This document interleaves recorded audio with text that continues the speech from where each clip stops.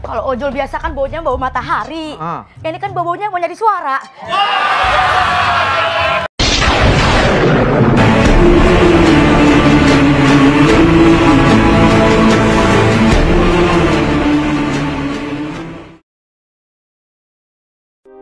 Dilansir dari Antara, bakal calon presiden Ganjar Pranowo menegaskan dirinya tidak pernah meminta materi roasting terhadap dirinya di acara komedi salah satu televisi swasta untuk dipotong.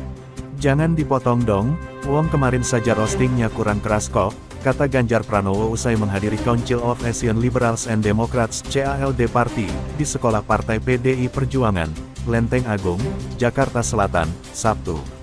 Hal itu dikatakan Ganjar terkait dirinya menjadi salah satu bintang tamu dalam sebuah acara komedi di salah satu televisi swasta. Dalam acara tersebut, stand-up komedian Kiki Saputri mi roasting Ganjar Pranowo. Roasting merupakan salah satu metode dalam stand-up komedi. Kiki itu teman saya, kata Ganjar Pranowo. Menurut Ganjar, dalam acara tersebut dirinya berperan sebagai seseorang yang melanggar aturan dan diperiksa oleh polisi. Ekspresi sebagai orang yang diperiksa polisi dan dimarahi Kiki. Roastingannya nggak keras kok dipotong, keras lagi dong, kata Ganjar Pranowo. Ia menegaskan bahwa dirinya tidak meminta materi roasting di acara tersebut untuk dipotong. Mantan Gubernur Jawa Tengah itu juga menyampaikan bahwa dirinya tidak tersinggung atas materi roasting yang disampaikan Kiki Saputri. Ganjar meyakinkan bahwa dirinya tidak terbawa perasaan atau baper atas roasting yang dilakukan Kiki. Roastingnya pasti juga dalam konteks lucu kan, masa gitu aja baper, wong yang lain aja kita nggak baper kok, ujar Ganjar.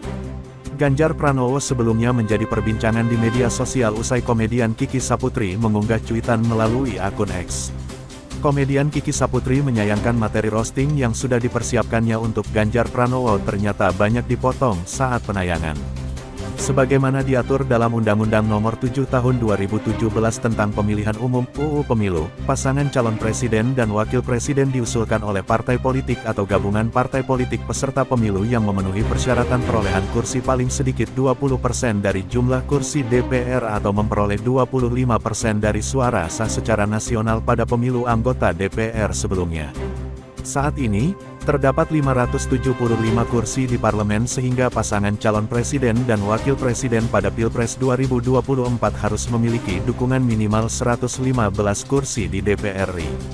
Selain itu, pasangan calon juga dapat diusung oleh parpol atau gabungan parpol peserta pemilu 2019 dengan total perolehan suara sah minimal 34.992.703 suara.